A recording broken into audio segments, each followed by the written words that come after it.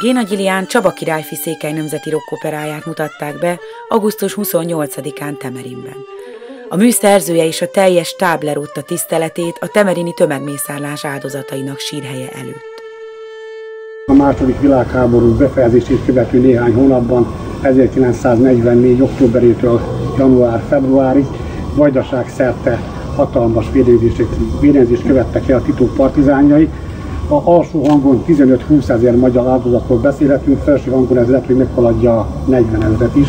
Nagyon nagy számról van szó, és főleg, ha tudjuk, hogy az életképes meggyakorban lévő férfiakat végezték ki, tehát alaposan megfizedeltek bennünket.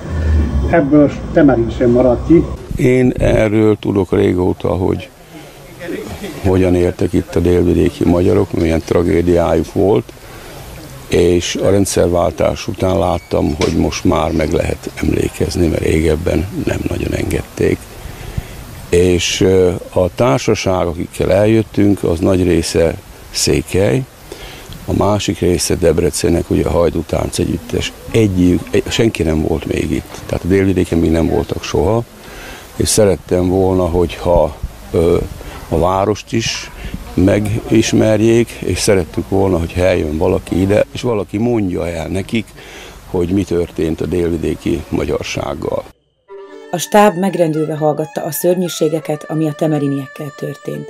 Majd az egyik énekes kérdésére Gusztony András elmondta, saját magukkal ásadták ki a gödröt, amibe később belelőtték őket. A sírnál elénekelték a mű himnuszát, majd egy-egy virágot helyeztek el. Gyilkosok,